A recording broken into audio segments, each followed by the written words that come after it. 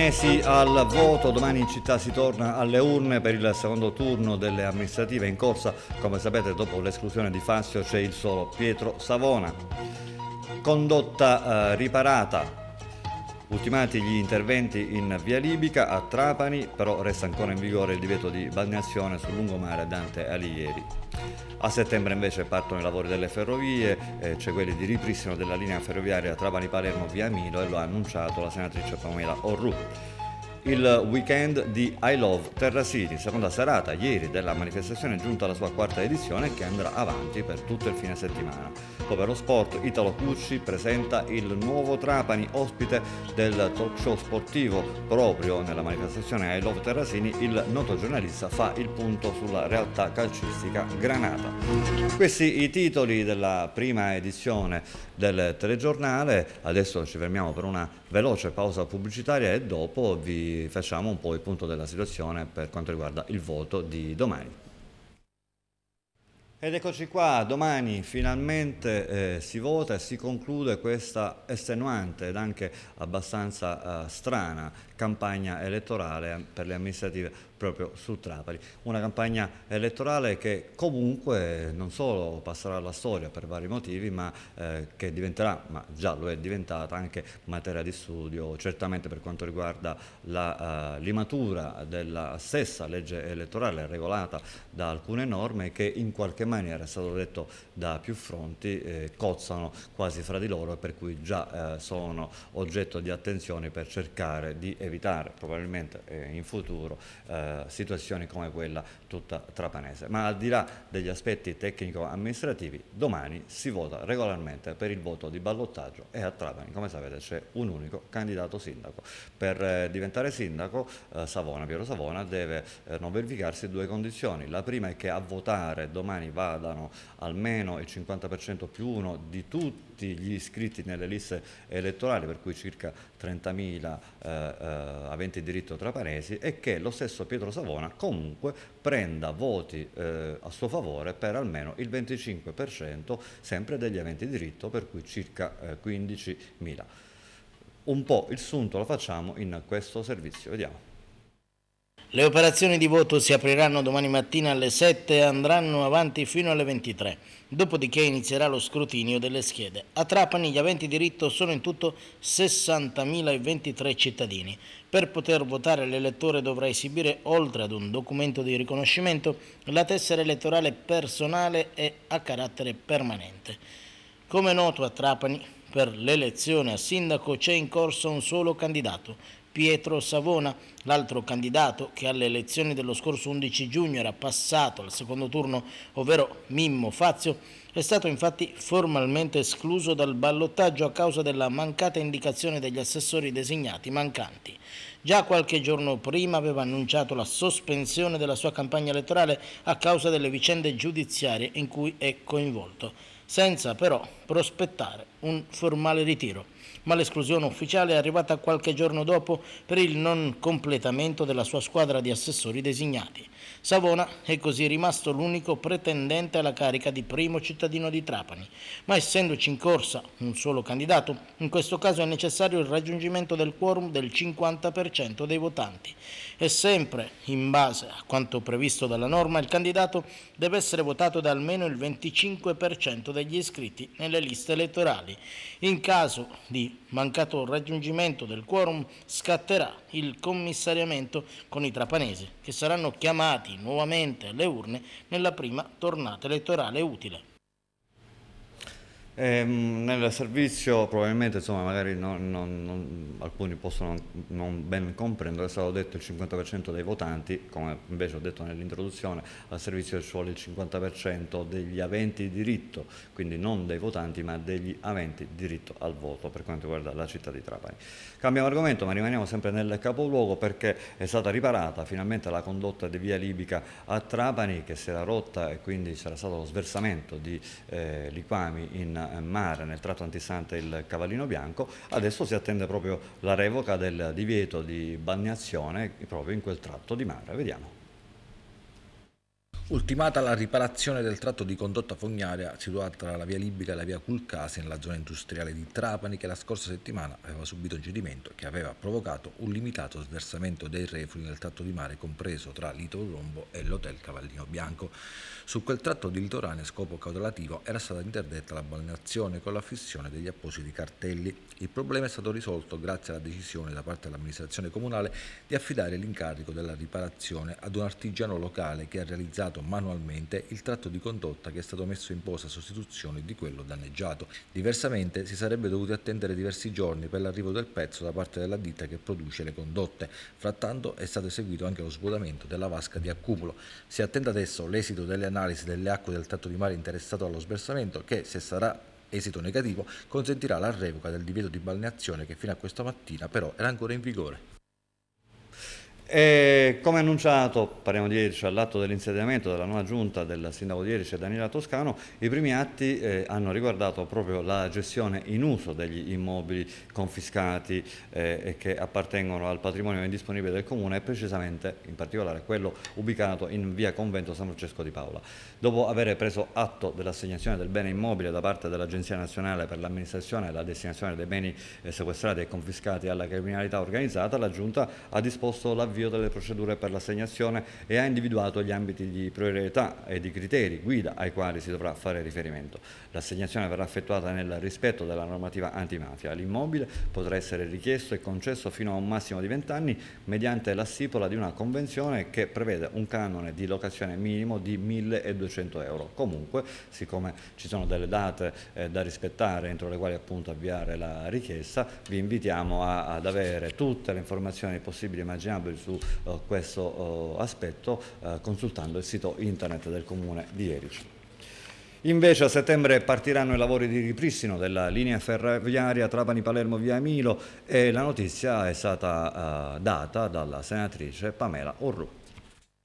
I lavori per il ripristino della linea ferroviaria Trapani-Palermo via Milo, interrotta nel febbraio 2013 per una frana e mai riattivata, partiranno nei primi giorni del prossimo mese di settembre.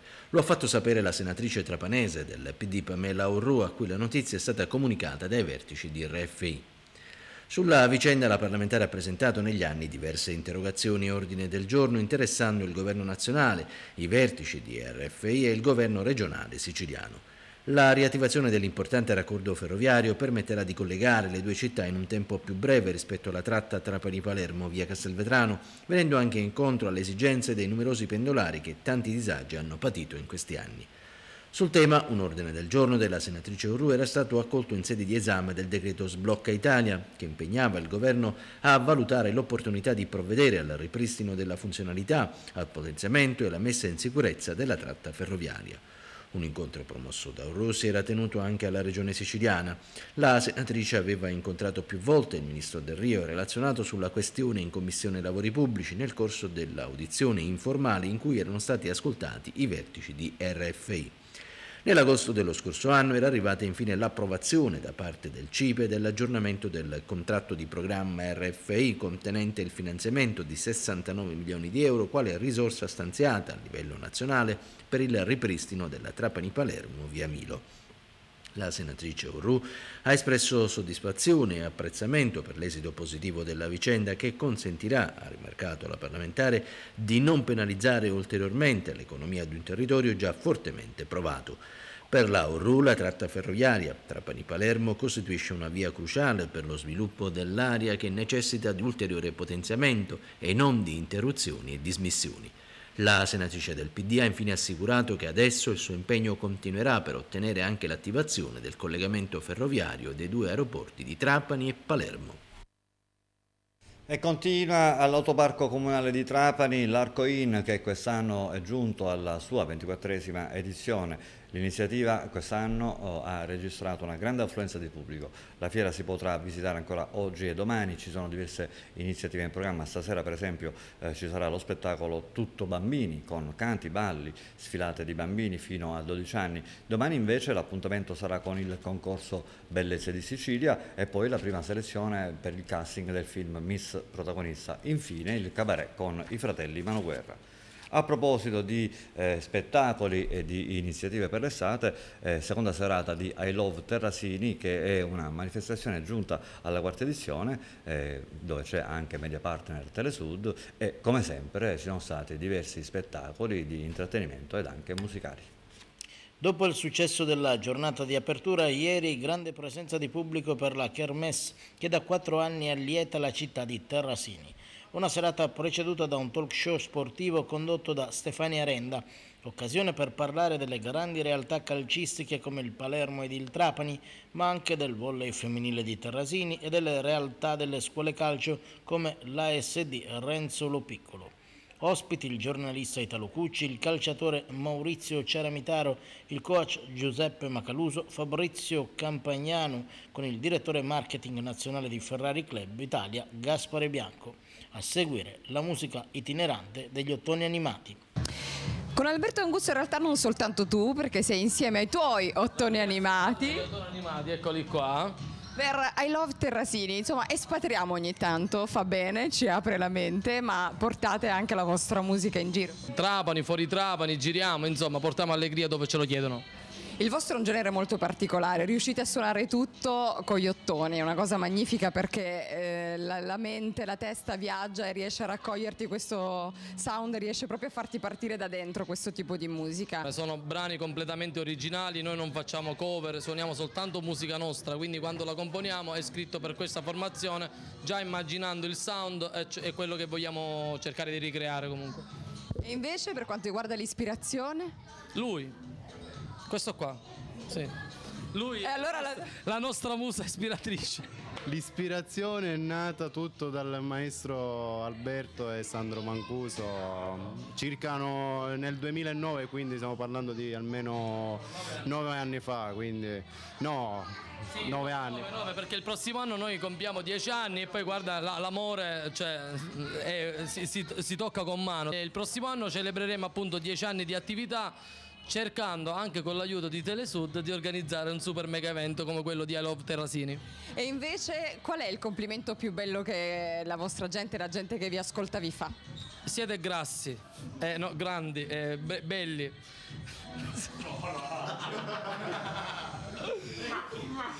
portate, cioè eh, il complimento più bello che ci dicono è portata l'allegria in strada.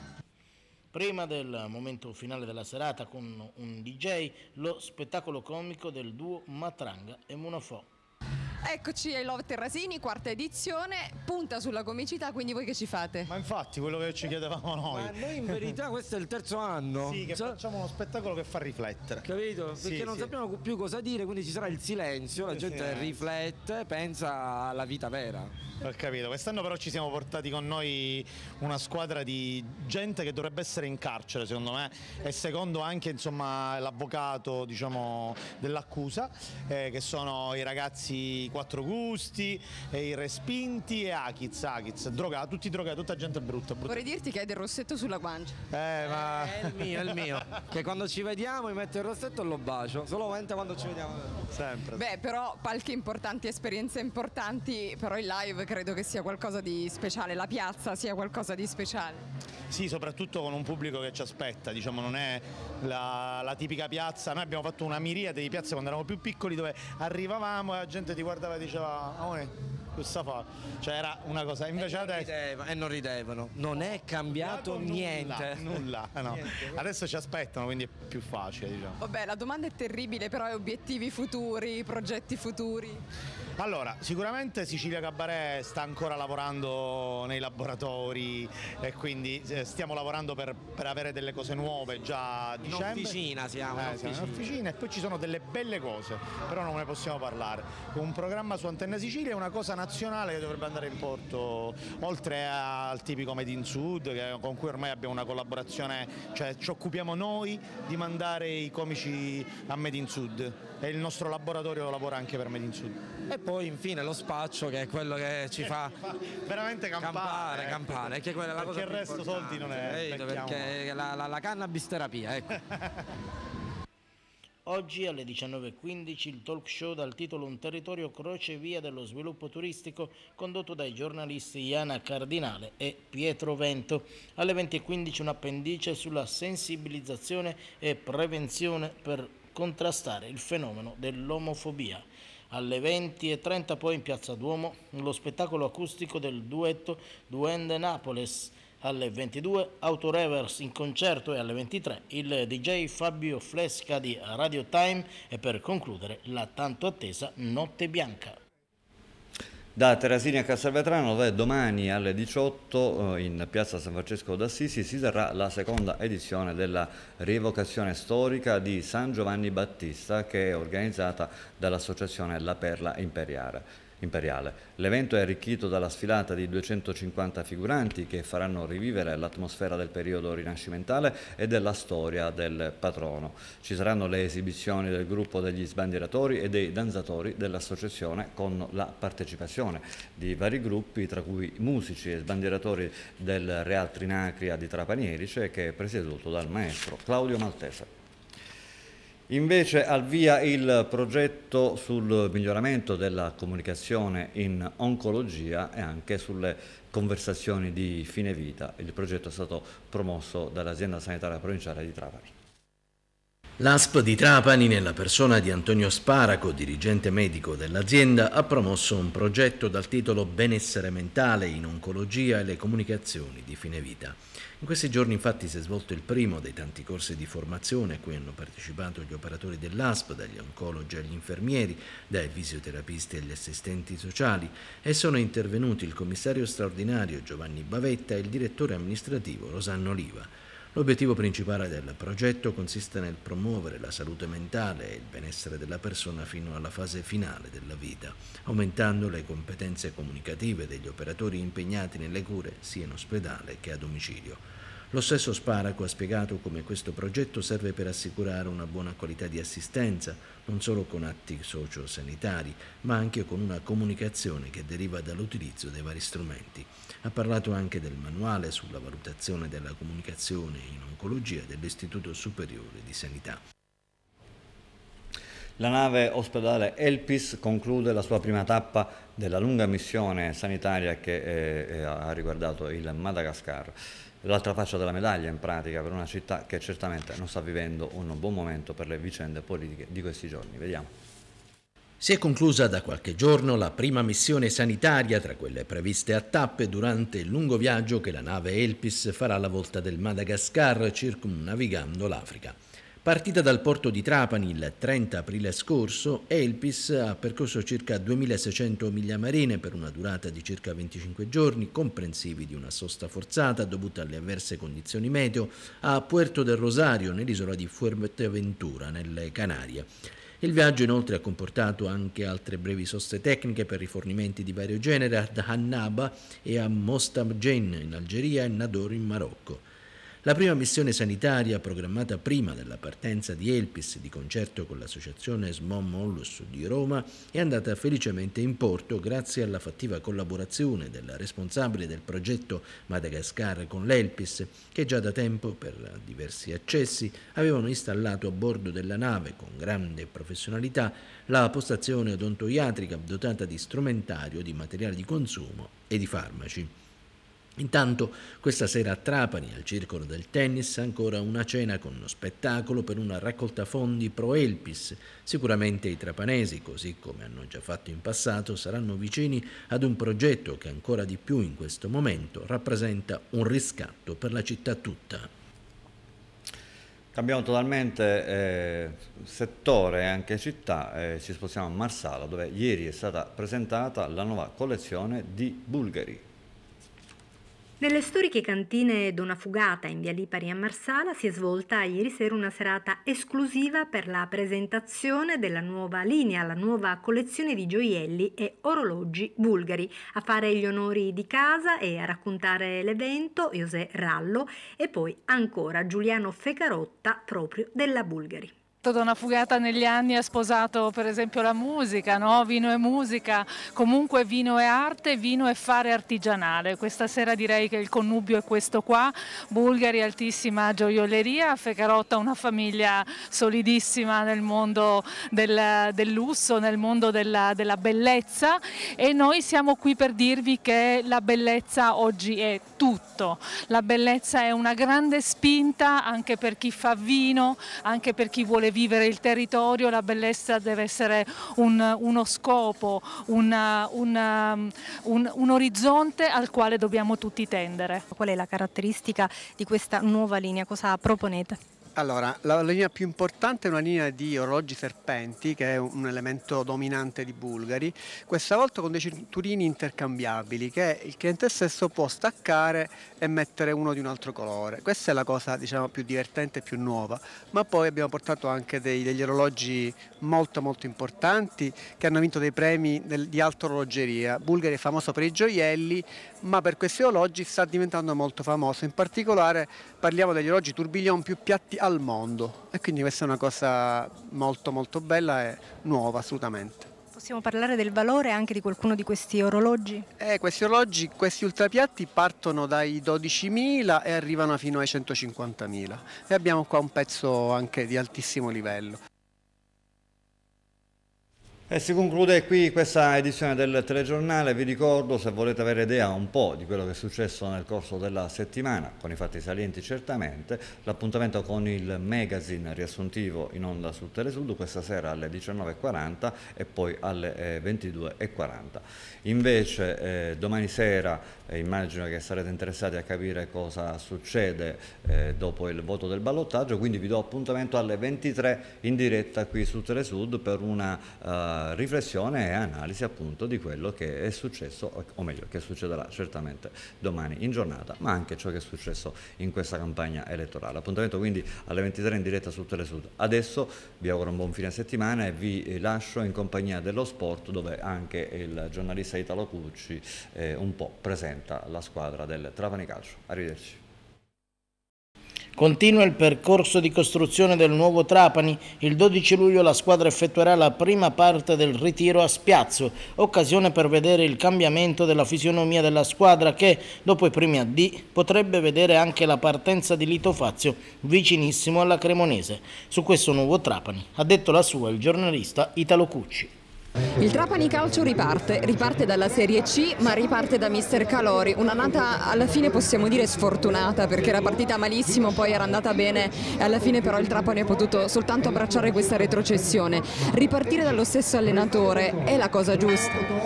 Ma sai se se la sente lui è sicuramente meglio, cioè abbiamo visto che cosa succede? Arrivare in alto e poi cadere precipitevolissimevolmente mentre può darsi che la durezza della lezione che il Trapani involontariamente ha subito possa dare un incentivo nuovo per una ricostruzione fermo restando che la Serie C è sempre un ottimo campionato, è un campionato nel quale si può crescere e si può cercare di recuperare quella posizione che il Trapani poi aveva meritato e mantenuto. Io ricordo i tempi di Moscaglia, mi auguro per Calori che possano tornare quei tempi di ricostruzione come sono stati i bei tempi che abbiamo vissuto.